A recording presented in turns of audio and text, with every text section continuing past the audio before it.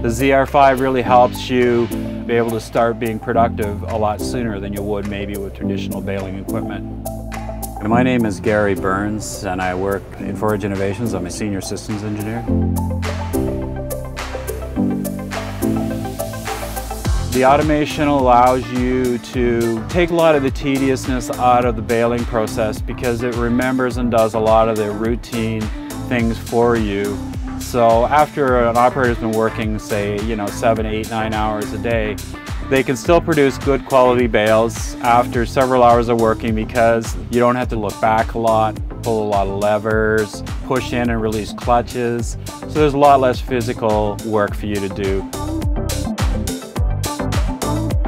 The automation takes a lot of the experience and knowledge that might normally be required out of the equation and lets someone with maybe a lower or a less experienced skill level be a fairly good operator and can make good operators even better.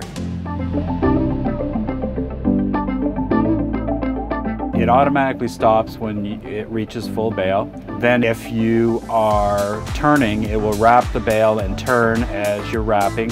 And then when the bale is finished wrapping, it will open the tailgate and release the bale, close the tailgate and turn back at the same time.